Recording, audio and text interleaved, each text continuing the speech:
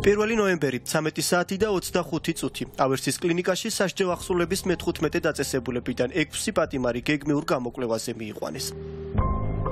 საბადრაგო სამსახურის ჯგუფის უფროსის მითითებით მაგნიტორეზონანსული კვლევის ჩასატარებლად თავდაპირველად ორი პატიმარი შეიყვანეს. დანარჩენი 4 მსჯავრდებული საბადრაგო სამსახურის მანქანაში დარჩა და თავის რიგს ელოდებოდა. თუმცა მსჯავრდებულთა ნაწილის მესამე სართულზე აყვანიდან რამდენიმე წუთში კლინიკის ეზოში განგაში გამოცხადდა. მithქვენ რომ გაიქცნენ, მაგრამ როგორ და რა, მაგდენი არ ვიცი.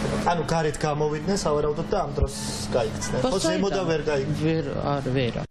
სასჯელახსულების ავტომობილში. ბადრაგის მეთვალყურეობის ქვეშ დარჩენილმა 4-დან 3 პატიმარმა ექსკორტიდან გაქცევა. ისე მოახერხა რომ არავის არაფერი შეუმჩნევია. მათ შორის არც საბადრაგო სამსახურის თანამშრომლებს რომლებიც ადგილზე იმყოფებოდნენ. პროკურატურის ინფორმაციით საბადრაგო სამსახურის უფროსმა ავტომობილში მყოფი მსჯავრდებულები ვიზუალური მეთვალყურეობის გარეშე დატოვა. არ ჩაკეტა სპეციალური სატრანსპორტო საშუალების კარი და სანახევროდ ღიად დატოვა ფანჯარა. ამ ყოლაფრით ისარგებლეს მსჯავრდებულებმა. ჩამოვიდნენ მანქანიდან და ადგილიდან მიიმალნენ როგორ მოახერხეს გაქცევა პატიმრებმა? შეგიძლიათ გითხრათ? კომენტარს არ ვაკეთებ, ბოდიში. როგორ მოახერხეს გაქცევა? ამაზე როგორ პასუხი? არ ვაკეთებ კომენტარს, ბოდიში. გაქცეულმა პატიმრებმა ავერსის კლინიკა ავტოსადგომის მხრიდან დატოვეს. ისინი გადაახდნენ რკინის კონსტრუქციას, ავიდნენ უცუბიძის ქუჩაზე და იქიდან მიიმალნენ. სწორედ უცუბიძეზე დაკარგა პოლიციამ გაქცეულების კვალი. გაქცეულ პატიმრებს შორის იყო ნიკა თოიძე. 17 წლის მოზარდის დაჭრის ფაქტზე დაკავებული ახალგაზრდა რომლის საცხოვრებელი სახლი გაქცევის ადგილიდან 5 კილომეტრში მდებარეობს. თავდაპირველად იყო ვერსია რომ ავერსიდან გაქცევის შემდეგ პატიმრები თოიძის სახლში სამარშრუტო ტაქსით მივიდნენ. თუმცა მსჯავრდებული თოიძის დედა პირად საუბრებში ამბობს რომ შულთან გაქცევის შემდეგ კომუნიკაცია არ ქონია შაბათის მთავარის ინფორმაციით, გაქცეული პატიმრები დედაქალაქიდან იმავე საღამოს გავიდნენ. ამაში კი ხელი არავის შეუშლია. პოლიციას ქალაქის გასასვლელები ჩაკეტილი არ ჰქონდა. ქუჩაში არ იყო რეიდები და გამსვლ მანქანებს არავინ ამოწმებდა. შესაბამისად, ახალგაზრდა მშავდებულებმა ავერსის კლინიკიდან 50 კილომეტრის გავლა და წილკნამდე ჩასვლა შეფერხების გარეშე შეძლეს. არა, საერთოდ იქ მოხდა ტუნელები ეზომოთა და იქ გონი იქ რა სადღაც. ნახე და ეს გადასწრებით ხო? გაქცეული პატიმრები რომ წილკანში იმალებოდნენ ამას ადგილობრივებიც ადასტურებენ. თავარი არხის ინფორმაციით წილკანში მასპინძელი გუჯა თათარაშვილი იყო. ის სასჯელს ქურდობისთვის იხდიდა და პატიმრობის კიდევ 2 წელი ჰქონდა დარჩენილი. თათარაშვილი დაკავებამდე წილკანში ცხოვრობდა და გაქცევის შემდეგაც ნიკა თოიძესთან ერთად იქ ჩავიდა. ღამე იქ გაათენეს გათენების შემდეგ კი სახლის უკან ტყეში იმალებოდნენ. თუმცა გაქცეული პატიმრის ბებია ამას უარყოფს თქვენთან იმალებოდნენ გაქცეული პატიმრები? არა, ჩემს. თქვენი შვილი შვილი არის, როგორც გაკეთე. ჩემი შვილი შვილია, მაგრამ ქართულ ხონაცხოვა. თქვენთან ხო არ არა. აქედან ხო არ უყვანია? არა, ჩემთან არა. გაქცეული ორი მსჯავრდებულის დასაკავებლად წილკანში პოლიციამ სპეცოპერაცია რომ ჩაატარა იციან ადგილობრივებმაც. ტელევიზორში უყურე. დიახ. მაგრამ აღმოჩნდა რომ ერთ-ერთი ყოფილა ამ სოფლე. ვიცი რომ სადღაც წეში შეინოდნენ და მაშინ დაიჭირეს. ამ სახში იმალებოდნენო და ეგ ხო არ გაგეგიათ? მე გავიგე რომ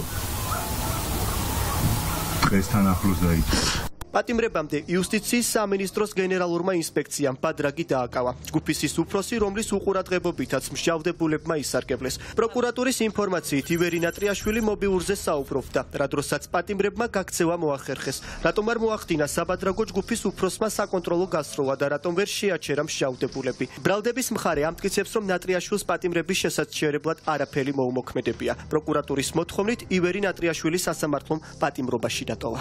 ბრალდებულმა განახორციელა დევნა, თუმცა განახორციელა ძალიან მცირე მანძილზე. იქედან გამომდინარე, რომ 14 წლის მანძილზე ის მუშაობდა ამ სამსახურში. აა იცნობს და მეგობრობს ძალიან ბევრ პირთან.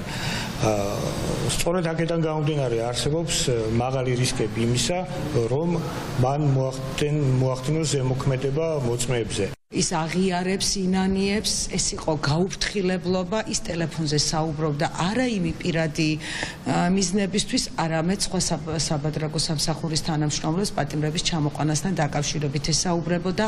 მან მიიღო მყისიერი რეაგირება მოახდინა როდესაც ჯარდებულებმა მოახერხეს გაქცევა პატიმრების გაქცევის ფაქტზე სამი დღეა ყველა ლაპარაკობს, თუმცა არავინ ამბობს, რა იყო მთავარი მიზეზი, რის გამოც ძიმე ფაქტი დადგა. მთავარის წყარო სასჯელ ახსულების დეპარტამენტიდან უყვება, რომ პრობლემა სისტემაშია. მისი მონაყოლით დეპარტამენტში არ არის ბადრაგების საკმარისი რაოდენობა და პატიმრების ეტაპირებაც ხშირ შემთხვევაში ბადრაგების ძალიან მცირე ჯგუფს უწევს. ამის გარდა არის კიდევ არაერთი პრობლემა, რის გამოც საბადრაგო სამსახურში მუშაობა არავის უნდა. ციხეში რაც ხდება რეალურად არავინ არ იცის. ეს არის ერთგვარი ჩაკეტილი სისტემა გარეთ არ გადის ინფორმაცია.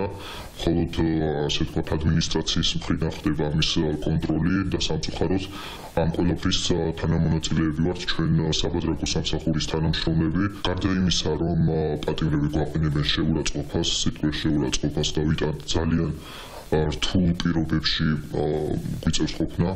ჩვენ ვიტანთ ძალიან ბევრ შეურაცხყოფას ადმინისტრაციის მხრიდან და თანამშრომლების მხრიდან. ასევე გვიწევს გადაგმულად მუშაობა დღეების განმავლობაში და ეს საერთოდ არ კონტროლდება ადმინისტრაციის მხრიდან. ხელისუფლება სისტემურ პრობლემას არ აღიარებს. შესაბამისად, არც მის მოგვარებაზე ზრუნავს სპინმე. იუსტიციის სამინისტრო და მთელი სახელმწიფო მხოლოდ იმის მტკიცებით არის დაკავებული, რომ ციხეში კარგი მდგომარეობაა და რომ პატიმრების უფლებები დაცულია. კონკრეტულ შემთხვევაში მხოლოდ ერთი ბადრაგის დანაშაული გამოკვეთეს და დიდი ალბათობით გაქცეული პატიმრების საქმე ამით დაასრულეს.